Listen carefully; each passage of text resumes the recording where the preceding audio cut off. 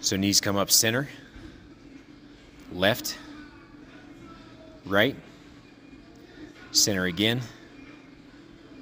right, and left. That's one rep. So six reps in one. Center, left, right, center, right, and left. That's two.